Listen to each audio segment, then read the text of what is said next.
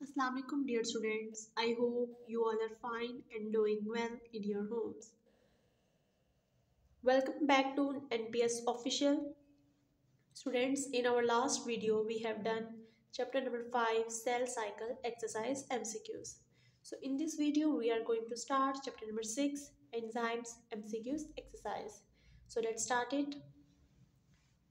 First one what is true about enzymes यानी इन चार ऑप्शन से हमने वो देखना है जो इंजाइम्स के बारे में सही बात है कि इंजाइम्स ये काम करते हैं। फ़र्स्ट ऑप्शन देखें they make biochemical reactions to proceed spontaneously no they lower the activation energy of a reaction chapter के फ़र्स्ट पेज पे लास्ट पैराग्राफ में आपने यही पढ़ा था कि how enzymes lower the activation energy next देखें they are not very specific in their choice of substrates they are specific हमने ये बात करेक्टरिस्टिक में पढ़ी हुई है। They are needed in large quantities no इस तरह की तो कोई बात हमने पूरे चैप्टर में पढ़ी नहीं। इसलिए जो हमारा जो करेक्ट ऑप्शन है, वो कौन सा है? ऑप्शन बी एंजाइम्स करते हैं एक्टिवेशन एनर्जी को कम।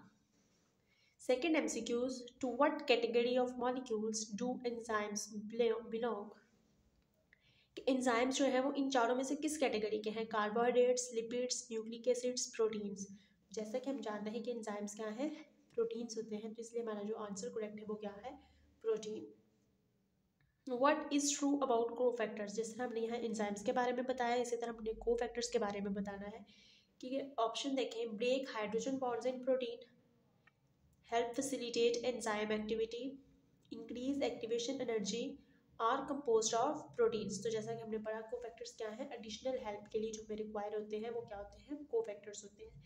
तो हम इसका ऑप्शन जो करेक्ट करेंगे, वो ऑप्शन बी होगा help facilitate enzyme activity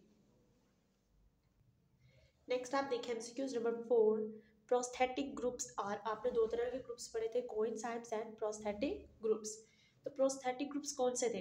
Required by all enzymes loosely attached with enzymes वो तो कौन थे? Coenzymes proteins in nature? No. Tightly bound to enzyme? Yes. Prosthetic group क्या है? टाइटली बाउंड होते हैं एंजाइम के साथ, जबकि जो लूजली अटैच होते हैं एंजाइम के साथ, वो क्या होते हैं? को एंजाइम। सो जो हमारा यहाँ पे करेक्ट आंसर होगा, वो ऑप्शन डी होगा, tightly bound to enzyme. MCQs number 5 when we add more substrate to an already occurring enzymatic reaction.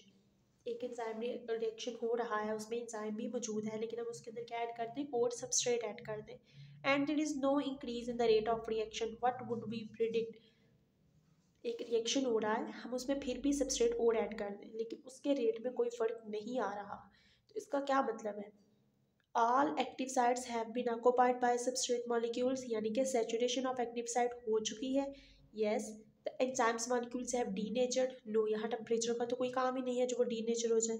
More substrate acts as inhibitor more substrate has distributed the pH of the medium तो हमारा जो correct answer है वो option A है कि active side की क्या हो गई है? सेचुरेशन हो गई, यानी all active sites have been occupied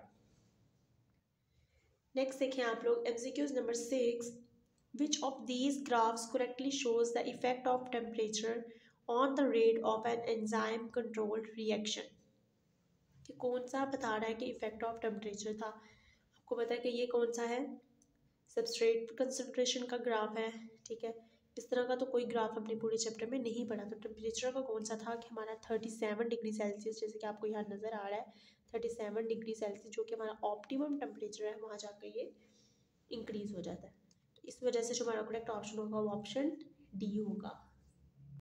So that was our today's video. Inshallah in our next video we'll solve next chapter mcqs exercise to get secure good marks in board examination. Till my next video take care. Allah hafiz